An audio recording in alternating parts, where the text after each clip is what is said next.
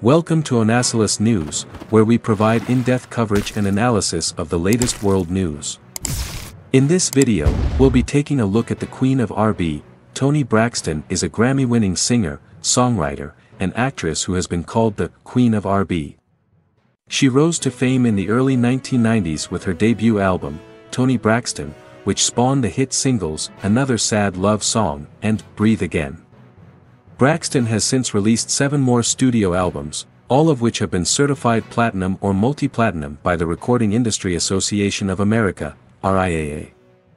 She has also won seven Grammy Awards, nine Soul Train Music Awards, and two American Music Awards. Braxton is known for her powerful vocals, soulful ballads, and personal lyrics. She has been praised by critics for her range, her ability to emote, and her songwriting skills. She has also been an inspiration to many other singers, including Beyoncé, Rihanna, and Mariah Carey. In addition to her music career, Braxton has also starred in several films and television shows, including The Braxtons, Braxton Family Values, and Toni Braxton, Unbreak My Heart. She is also a successful businesswoman, with her own fragrance line, clothing line, and production company, Toni Braxton is a true icon of R&B music. She is a talented singer, songwriter, and actress who has touched the lives of millions of fans around the world.